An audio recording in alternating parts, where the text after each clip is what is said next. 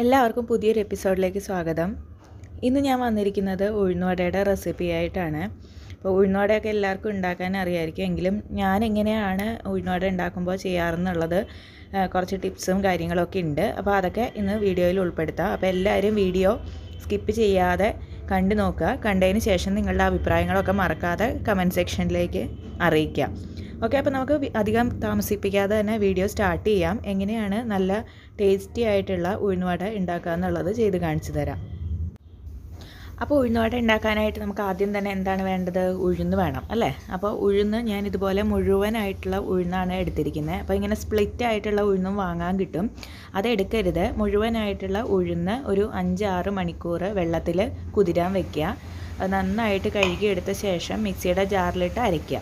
അപ്പോൾ മിക്സിയുടെ ജാറിലിട്ട് അരച്ചെടുക്കുമ്പോൾ പ്രത്യേകം ശ്രദ്ധിക്കുക. ഇതുപോലെ ഫ്രീസറിൽ ഒരു നാല് മണിക്കൂർ ആ ജാറൊന്ന് വെച്ച് തണുപ്പിച്ചെടുക്കണം. അതിനുശേഷം മാത്രമേ മാവ് അരച്ചെടുക്കാൻ പാടുള്ളൂ. ഇല്ലയെന്നുണ്ടെങ്കിൽ നമ്മൾ ഉഴുന്നുവട ഉണ്ടാക്കാനായിട്ട് മാവ് അരയ്ക്കുമ്പോൾ അത് ചൂടാവും. അപ്പോൾ ചൂടായി കഴിഞ്ഞാൽ ഒരു വെന്ത ടേസ്റ്റ് വരും. ഉഴുന്നുവട കട്ടിയാവുകയും ചെയ്യും. അപ്പോൾ അത് അത്രയ്ക്ക് അങ്ങോട്ട് ശരിയാവില്ല അങ്ങനെ ഉഴുന്നുവട ഉണ്ടാക്കിയാൽ അപ്പോൾ അത് കാരണം ഇതുപോലെ ഫ്രീസറിൽ വെച്ച് നന്നായിട്ട് തണുപ്പിച്ച് ജാറെടുക്കുക. അതിന് ശേഷം മാവ് കുറച്ച് കുറച്ചായിട്ട് ഇട്ട് അരച്ചെടുക്കുക. അപ്പോൾ ഞാനിപ്പോൾ എടുത്തിരിക്കുന്നത് വലിയ ജാറാണ് കേട്ടോ. അപ്പോൾ നിങ്ങൾ ചെറിയ ജാറ് എടുക്കുക. അതിലേക്ക് ഉഴുന്ന് ഇട്ടിട്ട് വെള്ളം അധികം ചേർക്കരുത്. ഒന്നോ രണ്ടോ ടീസ്പൂൺ വെള്ളമൊക്കെ ചേർത്ത് മാത്രം അരച്ചെടുക്കുക. ഇനി അടുത്തത് ഞാനിതിലേക്ക് ചേർക്കാൻ പോകുന്ന ഒരു സംഗതി നമ്മുടെ ഈസ്റ്റാണ്. നമ്മൾ പാലപ്പമൊക്കെ പുളിക്കാനായിട്ട് ഉണ്ടാ എടുക്കുന്ന ഈസ്റ്റില്ലേ? ആ ഈസ്റ്റാണ് ഞാൻ എടുക്കുന്നത്. അത് ചെറിയ ചൂടുവെള്ളം ഒരുപാട് ചൂടാവരുത്. ചെറിയ ചൂടുവെള്ളം ഒഴിച്ചിട്ട് ഇതുപോലെ ഒന്ന് കലക്കി വയ്ക്കുക ഒരു പത്ത് മിനിറ്റ് വെച്ച് കഴിയുമ്പോഴേക്ക് ഈ ഈസ്റ്റെല്ലാം നന്നായിട്ട് അലിഞ്ഞ് കിട്ടും. അപ്പോൾ ആ സമയം കൊണ്ട് നമുക്ക് ഈ മാവൊന്ന് റെഡിയാക്കി എടുക്കണം. അപ്പം മാവ് അധികം ലൂസായി പോവാതെ ശ്രദ്ധിക്കണം. വെള്ളം ഒരുപാട് ഒഴിക്കരുത്. ഇനി അതിലേക്ക് ആവശ്യത്തിന് കുരുമുളകും കുറച്ച് ഉപ്പും ഇട്ട് കൊടുക്കുക. പിന്നെ ഇതിലേക്ക് ഞാൻ ചേർത്ത് കൊടുക്കുന്നത് കായപ്പൊടിയാണ്. ഏകദേശം അര ടീസ്പൂണോളം അര അല്ലെങ്കിൽ മുക്കാൽ ടീസ്പൂണോളം കായപ്പൊടി ചേർത്ത് കൊടുക്കുക. അപ്പം അത് നിർബന്ധമാണ് കേട്ടോ. പിന്നെ ഞാൻ ചേർത്ത് കൊടുക്കാൻ പോണത് അരിപ്പൊടിയാണ്. അരിപ്പൊടി ഇല്ലയെന്നുണ്ടെങ്കിൽ റവ എടുത്താലും മതി. ഇതൊരു രണ്ട് ടേബിൾ സ്പൂണോളം വലിയ രണ്ട് ടേബിൾ സ്പൂണോളം ഇതിലേക്ക് ചേർത്ത് കൊടുക്കുക. അതിന് ശേഷം ഇനി മാവ് നന്നായിട്ട് നമ്മുടെ കൈകൊണ്ട് നന്നായിട്ടൊന്ന് മിക്സ് ചെയ്ത് കൊടുക്കുക. ഇനി ഞാനിതിലേക്ക് കുറച്ച് കറിവേപ്പിലയും കൂടെ ചേർത്ത് കൊടുക്കുന്നുണ്ട്. ഞാനൊരു രണ്ട് തണ്ട് കറിവേപ്പിലയാണ് കേട്ടോ എടുത്തിരിക്കുന്നത് അപ്പോൾ അത് നന്നായിട്ട് കീറി മുറിച്ച് ഇതേപോലെ ഇട്ട് കൊടുക്കുക. അതിന് ശേഷം നന്നായിട്ട് കൈ വെച്ചിട്ട് തന്നെ കുഴയ്ക്കണം.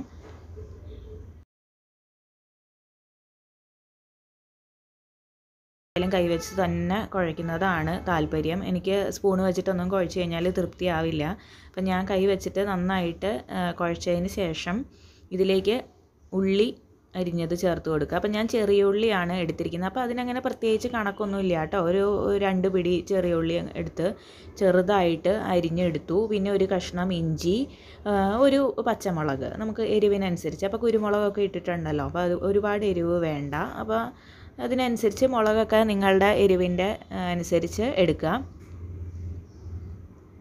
നന്നായിട്ട് കുഴച്ചതിന് ശേഷം നമുക്ക് ഏറ്റവും ലാസ്റ്റ് ഒരു പരിപാടിയും കൂടി ഉണ്ട്. ഇതിലേക്ക് നമ്മൾ കലക്കി വെച്ചിരിക്കുന്ന ഈസ്റ്റ് നമ്മൾ ആദ്യം തന്നെ ഈസ്റ്റ് കലക്കി വെച്ചിരുന്നു. അപ്പോൾ അത് ഇതിലേക്ക് ഒഴിച്ചു കൊടുക്കുക. അപ്പോൾ മാവ് ലൂസായി കഴിഞ്ഞാൽ ഈ ഈസ്റ്റും കൂടി ഒഴിച്ചു കഴിയുമ്പോൾ ഒന്നും കൂടി ലൂസാവും അപ്പോൾ വട ശരിയാവില്ല.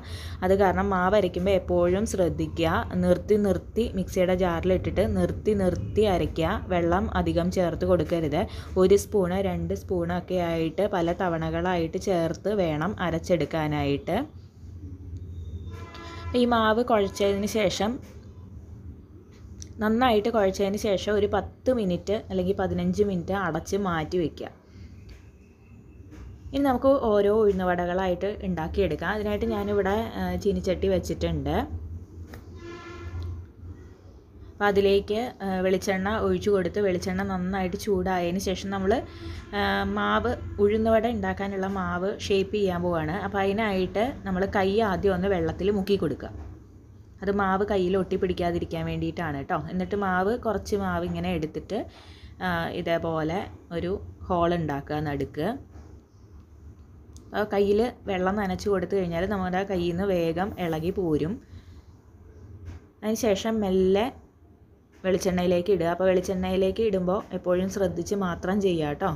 അപ്പോൾ ഇതേപോലെ ബാക്കിയുള്ള ഉഴുന്നുവടകളും തയ്യാറാക്കി എടുക്കുക. ഒരുപാട് വലിയ ഉഴുന്നുവടകൾ വേണ്ട. ചെറിയ ചെറിയ വടകൾ ഉണ്ടാക്കിയാൽ മതി. കാരണം ഒരുപാട് വലിയ ഉഴുന്നുവടകളായാൽ ഉള്ള ഉൾഭാഗത്ത് വെന്ത് കിട്ടാനായിട്ട് പ്രയാസമായിരിക്കും. പിന്നെ എപ്പോഴും മീഡിയം ഫ്ലെയിമിൽ വെക്കുക. ഒരിക്കലും ലോ ഫ്ലെയിമിൽ വെക്കരുത്. നമ്മളിതുപോലെയുള്ള സ്നാക്സ് ഐറ്റംസ് ഉഴുന്നുവട പരിപ്പുവട പഴംപൊരി അതൊക്കെ ഉണ്ടാക്കിയെടുക്കുമ്പോൾ ഒരിക്കലും ലോ ഫ്ലെയിമിൽ വെക്കരുത്. ലോ ഫ്ലെയിമിൽ വെച്ച് കഴിഞ്ഞാൽ അതിലേക്ക് ഒരുപാട് ഉള്ളിലേക്ക് എണ്ണ കയറി പോവും ഭയങ്കര ഓയിലി ആയി പോവും. അപ്പോൾ എപ്പോഴും ഇതുപോലെയുള്ള സ്നാക്സ് ഐറ്റംസ് ഒക്കെ ഉണ്ടാക്കുമ്പോൾ പ്രത്യേകം ശ്രദ്ധിക്കുക.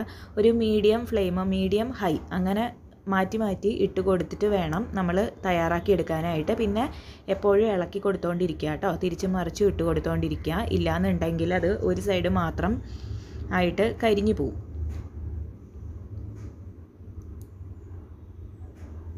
അപ്പോൾ കായവും ഒക്കെ ചേർത്തിട്ടുള്ളത് കാരണം ചെറിയ ഉള്ളിയൊക്കെ ചേർന്നിട്ടുള്ളത് കാരണം ചെറിയ ഉള്ളിയൊക്കെ വെളിച്ചെണ്ണയിൽ കടന്ന് മുരിഞ്ഞ് വരുമ്പോൾ ഒരു പ്രത്യേക സ്മെല്ലാണ്.